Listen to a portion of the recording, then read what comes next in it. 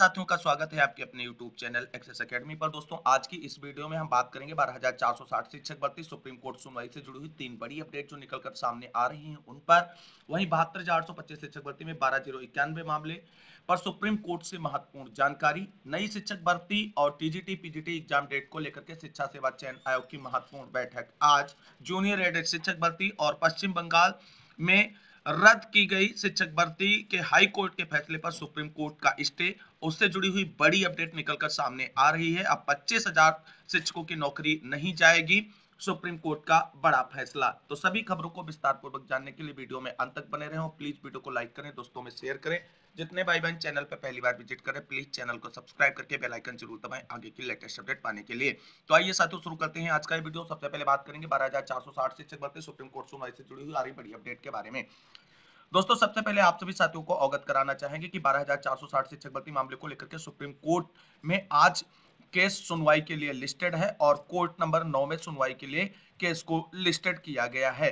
Bench वही है court number नौ है लेकिन सुप्रीम कोर्ट सुनवाई में क्या बड़ा बदलाव हुआ है उस पर नज़र डालते हैं। तो दोस्तों जैसा कि आप सभी लोग जानते हैं बारह शिक्षक भर्ती की सुनवाई के लिए जो कॉज लिस्ट आई थी, उसमें केस जो है पंद्रह नंबर पर सुनवाई के लिए लिस्टेड था। लेकिन कल देर शाम को सुप्रीम कोर्ट की तरफ़ से एक सप्लीमेंट्री कॉज लिस्ट जारी की गई है, जिसमें पंद्रह और केसेस जो हैं सुनवाई के लिए मेंशन किए गए हैं कोर्ट नंबर नौ में। तो इस तरीके से अब देखा जाए तो कोर्ट नंबर नौ में कुल जो है तीस केस जो है वो सुनवाई के लिए टोटल हो चुके हैं। और ऐसे में आप सभी साथियों को बता दें, अब अपना मामला यानी बारह हज़ार चार सौ साठ शिक्षक भर्ती मामला जो है वो तीस नंबर पर सुनवाई के लिए रखा जाएगा। इससे जुड़ी हुई अपडेट भी आप सभी लोग यहाँ पर देख सकते हैं। तो दोस्तों, यहाँ पर आप सभी लोग देख सकते हैं कि ये सप्लीमेंट्री कॉज लिस्ट है सुप्रीम कोर्ट की तरफ़ से जारी की गई है, जहाँ पर ये आप सभी लोग देख सकते हैं, आठ पाँच दो हज़ार चौबीस की सुनवाई के लिए कोर्ट नंबर नौ के लिए honourable Mister Justice JK Maheshwari और honourable Mister Justice Sanjay Karol ji की बेंच के लिए ये सप्लीमेंट्री कॉज लिस्ट निकलकर सामने आई है। यहाँ पर आप सभी लोग देख सकते हैं कि पंद्रह केसेस जो हैं, वो फिर से सप्लीमेंट्री कॉज लिस्ट में सुनवाई के लिए मेंशन होकर के आए हैं। तो कुल मिलाकर के बारह हज़ार चार सौ साठ शिक्षक भर्ती मामला पहले आप सभी लोगों ने देखा था कि मेन कॉज लिस्ट में पंद्रह नंबर पर लिस्टेड था। अब पंद्रह और प्लस पंद्रह सप्लीमेंट्री तो कुल मिलाकर के तीस केस जो है कोर्ट नंबर नौ में सुनवाई के लिए हो गए हैं। और ऐसे में अपना मामला जो लंच से पहले सुना जा सकता था, वो अब लंच के बाद जो है सुना जाएगा। ऐसी प्रबल संभावनाएँ बन चुकी हैं। बाकी आप सभी लोग जानते हैं केस मेंशन पर भी जो है चीज़ें निर्भर करती हैं और हो सकता है कि मामला पहले भी टेकअप हो जाए लेकिन जिस तरीके से सप्लीमेंट्री कॉज लिस्ट आने के बाद जो चांसेस बन रहे हैं वो यही है कि 12,460 शिक्षक भर्ती मामले को लेकर के सुप्रीम कोर्ट में आज जो सुनवाई है वो अब लंच के बाद होती नज़र आएगी। कुल मिलाकर के ये जो सुप्रीम कोर्ट सुनवाई में बड़ा बदलाव हुआ है उससे जुड़ी हुई अपडेट के बाद हम मूव करते हैं अगली महत्वपूर्ण खबरों की तरफ़।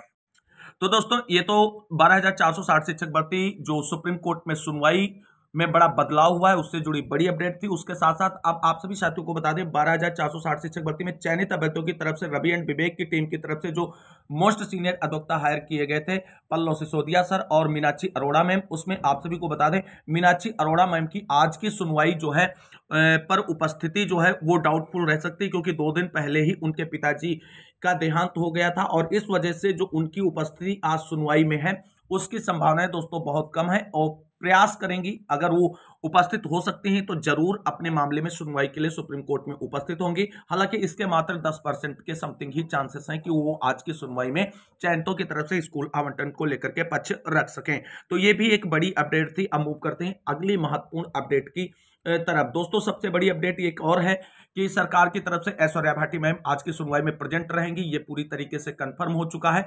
अब कोई अनफॉर्चुनेटली अगर दिक्कत नहीं आती, तब भले ही वो अनुपस्थित रहे, अन्यथा ये बिल्कुल श्योर हो चुका है कि ऐश्वर्या भाटी मैम आज की सुनवाई में सरकार की तरफ़ से उपस्थित रहेंगी और आर्डर मॉडिफिकेशन एप्लीकेशन पर आर्गुमेंट की पूरी तैयारी के साथ आने वाली हैं। तो अगर आर्गुमेंट करती हैं आर्डर मॉडिफिकेशन एप्लीकेशन पर ऐश्वर्या भाटी मैम और उनके साथ साथ जो हमारे पाँच मोस्ट सीनियर अधिवक्ता आज सुप्रीम कोर्ट में खड़े होंगे, उनका सपोर्ट मिलता है ऐश्वर्या भाटी मैम को। तो स्कूल आवंटन के लिए आज जो है आप सभी के लिए रास्ते खुल सकते हैं, क्योंकि एक मात्र वही विकल्प है आर्डर मोडिफिकेशन, जिसके बिहार पर, आप सभी चयनों का स्कूल आवंटन के लिए सुप्रीम कोर्ट से डायरेक्शन मिल सकता है और उसी को लेने के लिए सरकार की तरफ़ से आज प्रयास किया जाएगा।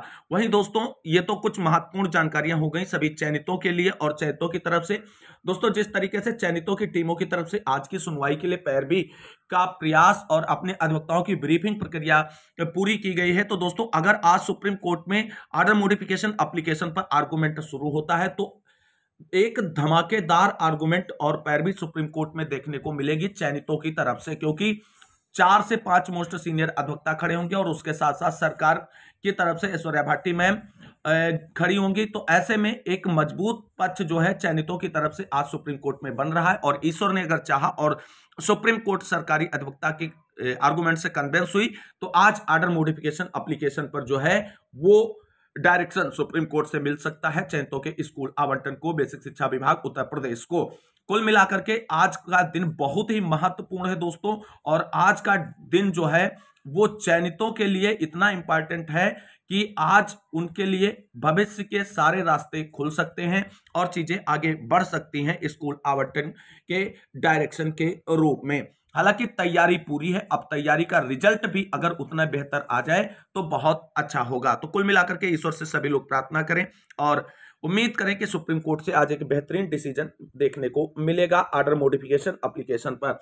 वहीं दोस्तों, आप सभी को बता दें, चयनित अभ्यर्थियों की तरफ़ से जितनी भी टीमें हैं, सबकी पहली प्रायोरिटी स्कूल आवंटन के लिए डायरेक्शन प्राप्त करना है। लेकिन अचयनितों की एक बड़ी प्लानिंग निकलकर सामने आई है, जो हमने कई वीडियो के माध्यम से आप सभी के साथ डिस्कस भी की है। दोस्तों, अचयनितों की तरफ़ से जो आज की सुनवाई के लिए तैयारी की गई, आप सभी लोग जानते हैं, उनकी तरफ़ से PS Patwalia sir most senior अधिवक्ता के रूप में उपस्थित होंगे। बाकी अन्य, कौन आज सीनियर अधिवक्ता वो उतारते हैं सुनवाई के लिए, ये भी काफ़ी महत्वपूर्ण हो जाएगा, लेकिन पीएस पटवालिया सर कंफर्म है, ये तो बात पक्की है। अब दोस्तों, आप सभी को बता दें जैसा कि मैंने कहा था, और वही जानकारी निकलकर सामने आ रही है अचयनितों की तरफ़ से। अचयनितों की तरफ़ से आज पूरी तरीके से तैयारी है कि चयनितों को अगर आर्डर मॉडिफिकेशन पर स्कूल आवंटन के लिए डायरेक्शन मिलती है तो उसका पुरजोर तरीके से जो है अपोज किया जाएगा। और अपोज किए जाने के साथ साथ जो है केस फाइनल डिसाइड के लिए सुप्रीम कोर्ट में रिक्वेस्ट की जाएगी। यानी अचयनित ये नहीं चाहते हैं कि चयनितों का स्कूल आवंटन का डायरेक्शन आज मिले।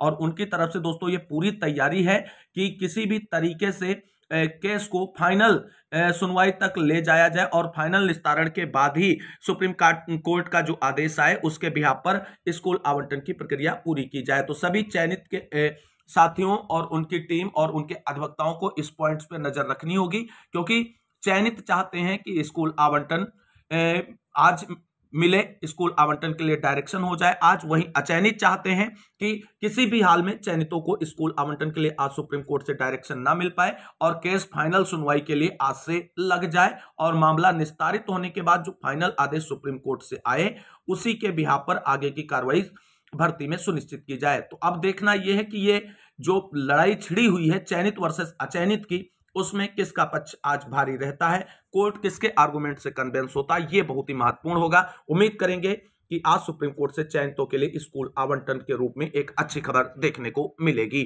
तो ये बारह हज़ार चार सौ साठ शिक्षक भर्ती से जुड़ी हुई जो बड़ी अपडेट निकलकर सामने आ रही थी, वो हमने आप सभी के साथ डिस्कस की है। अब बात करेंगे बहत्तर सौ भर्ती के साथ साथ अन्य की, आज की महत्वपूर्ण खबरों पर। दोस्तों, जैसा कि आप सभी लोग जानते हैं, बहत्तर हज़ार आठ सौ पच्चीस शिक्षक भर्ती में बारह ज़ीरो इक्यानवे मामले को लेकर के अभ्यर्थियों की तरफ़ से सुप्रीम कोर्ट में दो एसएलपी फ़ाइल की गई थी। सुप्रीम कोर्ट ने बिना सुने ही उन एसएलपी को खारिज कर दिया है और उससे जुड़ी हुई जो अब जानकारी निकलकर सामने आ रही है, वो आप सभी के सामने है कि शीर्ष अदालत ने खारिज की अर्जी, विवाद खत्म। बारह हज़ार अभ्यर्थी नहीं बनेंगे शिक्षक क्या है मामला, जानते हैं पूरी अपडेट।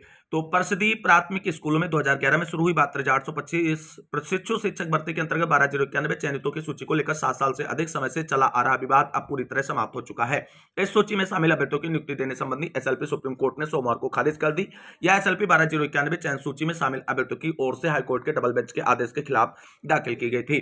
अभ्यर्थियों ने पिछले साल याचिका दायर की थी। बारह ज़ीरो इक्यानवे चयन सूची में शामिल कुछ अभ्यर्थियों ने पिछले साल नियुक्ति के लिए सुप्रीम कोर्ट में याचिका दायर की थी, जिस पर सुप्रीम कोर्ट ने कोई सुनवाई किए बगैर सत्ताईस सितंबर 2023 को याचिका हाईकोर्ट को संदर्भित कर दी थी। सुप्रीम कोर्ट ने अभ्यर्थियों को हाई कोर्ट में अपनी बात रखने को कहा था। हाई कोर्ट में सुनवाई के दौरान सिंगल बेंच ने 12 जनवरी 2024 को कहा था कि जिनकी काउंसलिंग ना हुई हो, उनकी काउंसलिंग कराते हुए नियुक्ति पत्र जारी किया जाए। इसके खिलाफ राज्य सरकार की स्पेशल अपील पर हाईकोर्ट की डबल बेंच ने 16 अप्रैल को एकल पीठ के आदेश को यह कहते हुए रद्द कर दिया था कि नियुक्ति प्रक्रिया शुरू होने के तेरह वर्ष बाद काउंसलिंग कराने का आदेश नहीं दिया जा सकता। इसे असंतुष्ट बारह ज़ीरो इक्यानवे चयन सूची में शामिल कुछ अभ्यर्थियों ने सुप्रीम कोर्ट में याचिका दायर की थी, जो सोमवार को सिरे से ही खारिज कर दी गई। तो क्यों खारिज की गई? क्या है चयनितों की सूची उस पर नज़र डालते हैं। यहाँ पर आप सभी लोग देख सकते हैं, वर्ष 2011 की बहत्तर हज़ार सौ पच्चीस प्रशिक्षु शिक्षक भर्ती में विभिन्न जिलों में काउंसलिंग के बावजूद न्यूनतम कटाप यानी अनारक्षित 105 और आरक्षित 90 से अधिक अंक पाने वाले कई अभ्यर्थी चयन से वंचित हो गए थे। इसके खिलाफ प्रतापगढ़ के अभ्यर्थी राहुल पांडे की ओर से की गई याचिका पर सुप्रीम कोर्ट ने दो नवंबर दो हज़ार पंद्रह को उन अभ्यर्थियों से प्रत्यावेदन लेने का आदेश दिया था, जिनका कटाप अधिक था पर चयन से वंचित रह गए थे। कोर्ट के आदेश पर लगभग पचहत्तर हज़ार अभ्यर्थियों ने प्रत्यावेदन दिया था, जिसमें से बारह ज़ीरो को पात्र बताते हुए बेसिक शिक्षा परिषद ने उनकी सूची जारी की गई। जारी की थी और इसी सूची में शामिल अभ्यर्थियों की तरफ़ से अपनी नियुक्ति प्रक्रिया पूरी करने को लेकर के मांग की जा रही थी, लेकिन सुप्रीम कोर्ट से अभ्यर्थियों को बड़ी झटके के रूप में उनकी एस को खारिज कर दिया गया है। अब किन रास्तों पर आगे इसमें बढ़ा जा सकता है, इसको लेकर के अभ्यर्थियों और उनके अधिवक्ताओं का मंथन जारी है। आगे क्या फैसला अभ्यर्थियों की तरफ़ से लिया जाएगा, आगे बढ़ने को लेकर के जो भी अपडेट होगी आप सभी को चैनल के माध्यम से उसके बारे में जानकारी शेयर की जाएगी। मूव करते हैं अगली महत्वपूर्ण खबर की ओर। दोस्तों बात कर लेते हैं उत्तर प्रदेश में अठारह सौ चौरानवे पदों पर हुई जूनियर एडेड शिक्षक भर्ती से जुड़ी हुई महत्वपूर्ण अपडेट के बारे में। तो जूनियर एडेड की अठारह पदों की शिक्षक भर्ती, चुनाव बाद पूरी होने की उम्मीद।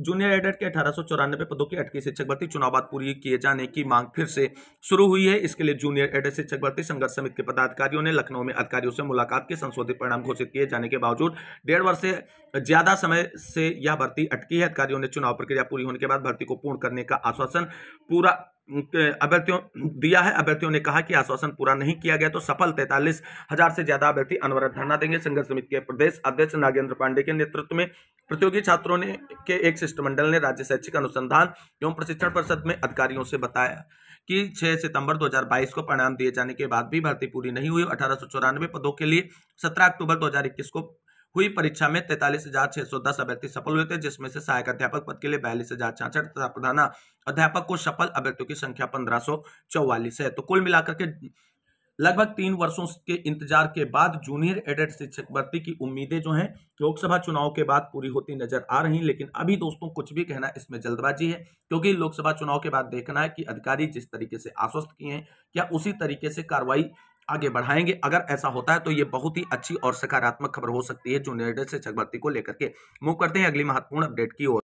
बात करेंगे उत्तर प्रदेश में नई प्राथमिक शिक्षक भर्ती के खाके और विज्ञापन से जुड़ी हुई महत्वपूर्ण अपडेट के साथ साथ टीजीटी पीजीटी एग्ज़ाम डेट को लेकर के आ रही महत्वपूर्ण अपडेट के बारे में। दोस्तों, जैसा कि आप सभी लोग जानते हैं, उत्तर प्रदेश में जितनी भी शिक्षक भर्तियाँ आयोजित की जाएँगी, सभी का आयोजन अब उत्तर प्रदेश शिक्षा सेवा चयन आयोग के माध्यम से ही किया जाएगा और इसको लेकर के अब अच्छी और सकारात्मक खबर निकलकर सामने आ रही है।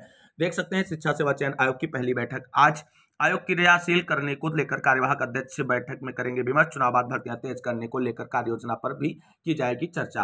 प्राथमिक से लेकर उच्च शिक्षण संस्थानों तक में तथा तकनीकी और अल्पसंख्यक शिक्षण संस्थानों में शिक्षक भर्ती करने के लिए गठित उत्तर प्रदेश शिक्षा सेवा चयन आयोग की पहली बैठक बुधवार को होगी। बैठक में हिस्सा लेने के लिए आयोग के कार्यवाहक सचिव बनाए गए गिरजेश त्यागी मंगलवार को प्रयागराज पहुँच गए। उन्होंने आयोग कार्यालय में व्यवस्थाओं का जायजा लिया और बैठक की तैयारियाँ पर की। बुधवार सुबह कार्यवाहक अध्यक्ष एमपी अग्रवाल आएँगे और सदस्यों अधिकारियों के साथ बैठक कर आयोग को क्रियाशील करने को लेकर के विमर्श करेंगे। इसके साथ लंबित और नई भर्तियों सहित कुछ और विषयों पर भी वार्ता की जाएगी। बुधवार को आयोग के कार्यालय में कार्यवाहक अध्यक्ष की अध्यक्षता में होने वाली बैठक को देखते हुए अधिकारियों में केवल कार्यवाहक सचिव अभी नामित किए गए हैं। इनके अलावा चार उप सचिव, एक वित्त नियंत्रक, एक परीक्षा नियंत्रक एवं एक वित्त विधि अधिकारी एवं एक वित्त एवं लेखा अधिकारी, एक कंप्यूटर एवं आईटी समन्वयक की तैनाती होनी बाकी है। आयोग में भर्तियों को लेकर के कामकाज शुरू करने के लिए इन अधिकारियों की नियुक्ति आवश्यक है। इसके बिना लंबित भर्तियों में असिस्टेंट प्रोफेसर टीजीटी पीजीटी की भर्ती परीक्षा नहीं कराई जा सकती है।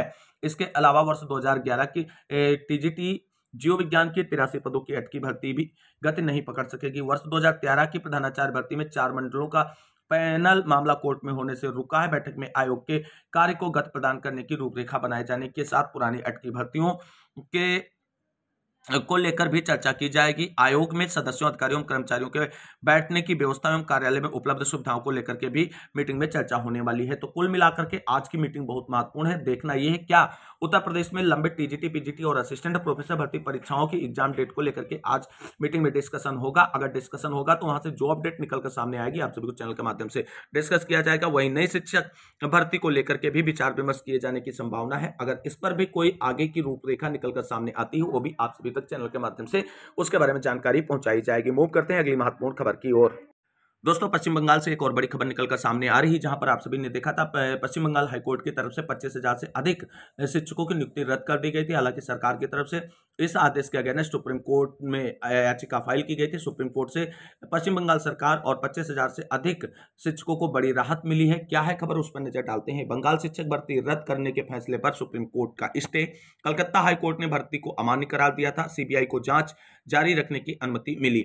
सुप्रीम कोर्ट ने मंगलवार को कलकत्ता हाईकोर्ट के आदेश पर रोक लगा दी, जिसमें राज्य के सरकारी और सरकारी सहायता प्राप्त स्कूलों में की गई पच्चीस शिक्षकों और गैर शिक्षण कर्मचारियों की नियुक्ति को अमान्य करार दिया। था। हालाँकि मुख्य न्यायाधीश डीवाई चंद्रचूड़ न्यायमूर्ति जेबी पारदीवाला और न्यायमूर्ति मनोज मिश्रा की पीठ ने सीबीआई को जाँच जारी रखने और राज्य मंत्रिमंडल के सदस्यों की भी जाँच करने की अनुमति दे दी है। पीठ ने सीबीआई से कहा, वह जाँच के दौरान किसी संदिग्ध को गिरफ़्तार करने जैसी कोई जल्दबाजी न करे। इससे पहले कोर्ट ने कथित भर्ती घोटाले को व्यवस्थागत धोखाधड़ी करार देते हुए कहा कि अधिकारियों की ज़िम्मेदारी थी कि वह शिक्षकों और गैर शिक्षण कर्मियों की नियुक्ति से संबंधित डिजिटल रिकॉर्ड संभाल कर रखते। पीठ कलकत्ता हाईकोर्ट के 22 अप्रैल के फैसले को चुनौती देने वाली अर्जियों पर सुनवाई कर रही थी। हाईकोर्ट ने बंगाल के सरकारी और सहायता प्राप्त स्कूलों में पच्चीस हज़ार सात सौ तिरपन शिक्षकों एवं गैर शिक्षण कर्मचारियों की नियुक्ति को अमान्य घोषित कर दिया था। कुल मिलाकर के जाँच जारी रहेगी और आगे जाँच में जो फैसला होगा उसके बिहार पर आगे की कार्रवाई सुनिश्चित की जाएगी। हालाँकि सुप्रीम कोर्ट ने अपने फैसले में बहुत ही स्पष्ट तरीके से ये स्पष्ट कर दिया है कि जो अवैध हैं, उनकी संख्या को अगर क्लेरिफाई किया जा सकता है यानी अलग किया जा सकता है तो उनके साथ साथ जो वैध है पूरी तरीके से, उनको क्यों इसके जुर्माने के रूप में अपनी नौकरी गंवानी पड़े तो कुल मिलाकर के जाँच के बाद दोषियों पर कड़ी कार्रवाई हो सकती है और जो पूरी तरीके से वैध हैं, उन पर कोई भी आँच नहीं आ सकती। है सुप्रीम कोर्ट का ये स्टेटमेंट निकलकर भर्ती से संबंधित सामने आया है। मुँह करते हैं अगली महत्वपूर्ण खबर की ओर। दोस्तों, उत्तराखंड से एक और बड़ी खबर निकलकर सामने आ रही है, जहाँ पर बेसिक शिक्षक की भर्ती के लिए बीएड की बाध्यता हुई खत्म। प्रदेश में राजकीय प्राथमिक विद्यालयों में शिक्षकों की नियुक्ति का रास्ता साफ़ हो गया है। सरकार ने प्राथमिक शिक्षकों की सेवा नियमावली संशोधन करते हुए भर्ती के लिए बीएड की बाध्यता समाप्त कर दो वर्षीय डीएलएड को मंजूरी दे दी है। इस फैसले से लगभग छत्तीस प्राथमिक शिक्षकों की भर्ती का रास्ता साफ़ हो गया है। शिक्षा मंत्री डॉक्टर धन सिंह रावत ने विभागीय अधिकारियों को बेसिक शिक्षकों की भर्ती प्रक्रिया शुरू करने के निर्देश मंत्री डॉक्टर धन सिंह रावत ने बताया कि सुप्रीम कोर्ट ने राष्ट्रीय अध्यापक शिक्षक शिक्षा परिषद के वर्ष दो हज़ार अठारह जारी उस अधिसूचना को निरस्त कर दिया था, जिसमें प्राथमिक शिक्षकों के लिए बीएड डिग्री की अनिवार्यता लागू की गई थी। उच्चतम न्यायालय के इस निर्णय के अनुपालन में राज्य कैबिनेट ने हाल ही में राजकीय प्रारंभिक शिक्षक सेवा नियमावली 2012 में संशोधन को अपनी स्वीकृति प्रदान की, जिसके क्रम में शासन ने उत्तराखंड राज्य की प्रारंभिक शिक्षा सेवा नियमावली 2024 को जारी कर दी है। सरकार ने इस संशोधन से बेसिक शिक्षकों के लिए आवश्यक शैक्षिक योग्यता बी डिग्री को अमान्य कर दिया है। अब राज्य में केवल डीएलएड डिग्री धारक ही पहली से पांचवी कक्षा तक के बेसिक शिक्षक के पद के लिए पात्र होंगे। विभागीय मंत्री ने बताया कि प्रदेश में बेसिक शिक्षकों की नई नियमावली लागू होने से लगभग छत्तीस प्राथमिक शिक्षकों की भर्ती का रास्ता साफ़ होगा। हो गया है। भर्ती प्रक्रिया शुरू करने के लिए विभागीय अधिकारियों को निर्देशित कर दिया गया है। मंत्री डॉक्टर धन सिंह रावत ने बताया, प्राथमिक शिक्षकों की भर्ती प्रक्रिया संपन्न होने से प्रदेश भर के प्राथमिक विद्यालय में रिक्त शिक्षकों के सभी पद भर जाएँगे। तो कुल मिलाकर के सुप्रीम कोर्ट के आदेश के अनुपालन में उत्तर, उत्तराखंड सरकार की तरफ़ से एक बड़ा फैसला, बीएड जो प्राथमिक में एलिजिबल था। एनसीटी की गाइडलाइन 2018 के अकॉर्डिंग वो रद्द होने के बाद एक बड़ा संशोधन करते हुए बीटीसी यानी डीएलएड अभ्यर्थियों को केवल और केवल प्राथमिक के लिए पूरी तरीके से वैलिड कर दिया गया है उत्तराखंड सरकार की तरफ़ से। तो दोस्तों, आज की महत्वपूर्ण खबरों के अंतर्गत आज की इस वीडियो में बस इतना ही। इस वीडियो को अंत तक देखने के लिए सभी साथियों को तय दिल से शुक्रिया। बहुत बहुत धन्यवाद। मिलते हैं अगली वीडियो में। तब तक के लिए सभी साथियों को जय हिंद, जय भारत। बंदे मातरम।